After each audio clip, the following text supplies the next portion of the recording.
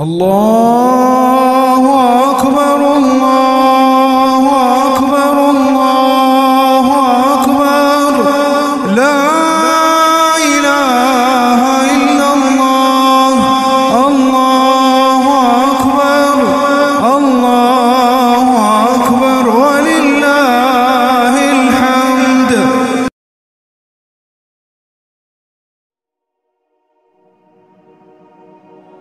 İbadətlərin ən çox olduğu günlərdən biri də Zilhiccə ayının ilk 10 günləridir. Uca Allah bu 10 günü digər günlərdən üstün qılmışdır. İbn Abbas radiyallahu anhu rivayet etdiyinə görə Rasulullah sallallahu alayhi və səlləm belə buyurmuşdur. Bu günlərdə edilən salih əməllərin uca Allah qatında sevimli olduğu bu 10 gündən başqa bir gün yoxdur. Sahabelər Ya Rasulullah, Allah yolunda edilən cihaddan da mı? Rasulullah sallallahu aleyhi və səlləm də Allah yolunda edilən cihaddan da. Ancaq Allah yolunda canı və malı ilə çıxan və bu ikisindən heç biri ilə geri dönməyən bundan başqa. Bu hədis və bənzər rivayətlər Zilhiccənin 10 günü digər illərin günlərindən daha üstün olduğunu göstərməkdədir. Bu üstünlük Ramazan ayın son 10 günü istisnasız bir şəkildə bütün illərin günlərindən daha üstündür.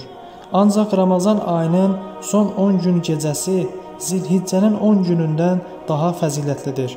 Çünki bu gecələrdə 1000 aydan daha xeyirli Qədr gecəsi vardır.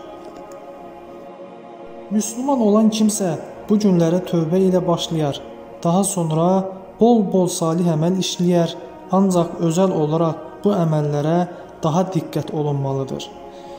Oruç tutmaq Zilhiccənin ilk 10 gününün 9 gününü oruç tutmaq sünnətdir. Çünki Rasulullah sallallahu alayhi və səlləm bu 10 gündə salih əməl işləməyə təşviq etmişdir. Oruc da əməllərin ən fəzilətlisidir. Ayrıca uca Allah bu əməllərin özünə seçmişdir. Qudsi hədisin birində uca Allah Adəm oğlunun etdiyi hər əməl özü üçündür. Yalnız oruc mənim üçündür və onun mükafatını mən verərəm deyə bildirmişdir. Rasulullah sallallahu alayhi və səlləm Zilhiccənin ilk 9 günündə oruc tutardı. Huneydə bin Xalid radiyallahu anh rivayet etdiyinə görə o da zövcəsindən rivayet edərək, o da Rasulullah sallallahu alayhi və səlləm zövcələrindən rivayet edərək belə bildirmişdir. Rasulullah sallallahu alayhi və səlləm Zilhiccənin ilk 9 günü Aşura günlərində, hər ayın 3 günü və hər ayın ilk 2 həftəsinin birinci günləri və həmçinin də hər ayın ilk 2 həftəsinin 3-cü günlərində oruç tutardı. Çoxlu elhamdülillah, la ilahe illallah, vallahu akbar demək. 10 gün içində təkbir gətirmək, elhamdülillah, la ilahe illallah, vallahu akbar demək sünnətdir. Həmçinin bunu məscidlərdə, evlərdə və yollarda səsli demək də sünnətdir. Kişilər səsli edərkən qadınlar səssiz edər. Uca Allah buyurur: Qoy onlar öz mənfəətlərinin şahidi olsunlar və Allahın onlara ruzi olaraq verdiyi heyvanları bilinən günlərdə Allahın adını anaraq kəssinlər. Onlardan siz də yeyin, yoxsul kasıblara da yedirin. Həcc surəsi 28-ci ayə. Bütün alimlərin cümhuruna görə ayədə keçən bilinən günlər Zilhiccə ayının 10 günü olduğuna dair ittifaq vardır. Bu barədə İbn Abbas radiyallahu anhudan da bilinən günlər haqqında 10 gün olduğu rəvayət edilmişdir. Abdullah ibn Ömər radiyallahu anhu rəvayət etdiyinə görə Rasulullah sallallahu alayhi və səlləm belə demişdir. Allah qatında bu 10 gündə edilən salih əməldən daha sevimli gün yoxdur. Bu günlərdə çoxlu elhamdülillah, la ilahe illallah və Allahu akbar deyin.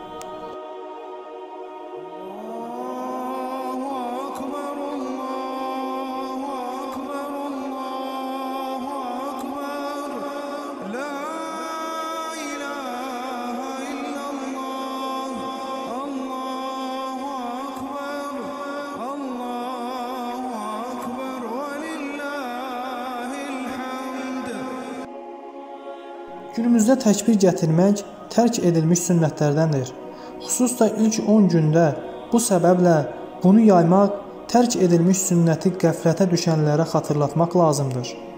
İbn Ömər radiyallahu anhu və Əbu Hüreyrə radiyallahu anhu rəvayət edildiyinə görə Zilhiccənin ilk 10 gününün içində insanların çox olduğu yerə çıxar, təkbir gətirərdilər. Və ətrafında olan insanlar da təkbir gətirərdi. Bunda məqsəd insanların təkbir gətirməsi ilə təkbir gətirməyi xatırlatmaq idi və hər kəs də fərdi olaraq da təkbir gətirərdi. Unudulan sünnətləri yenidən xatırlatmaqda çox böyük bir savab vardır. Bu haqqda Rasulullah sallallahu alayhi və sallam belə buyurmuşdur. Məndən sonra unudulan sünnətlərdən bir sünnəti kim ihya edərsə, sünnəti işləyənlərin əcri qədər o kişiyə də verilər və onların savablarından bir şey əksilməz.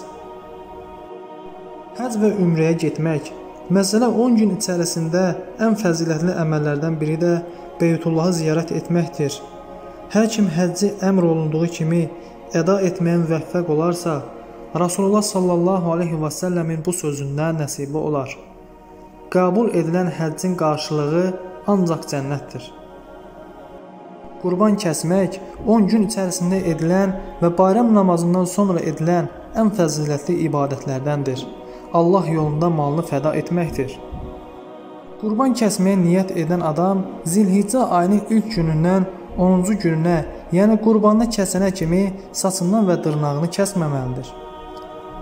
Uca Allah bizləri bu bayramdan nəsibini alanlardan etsin və kəsilən qurbanlarımızı qəbul etsin.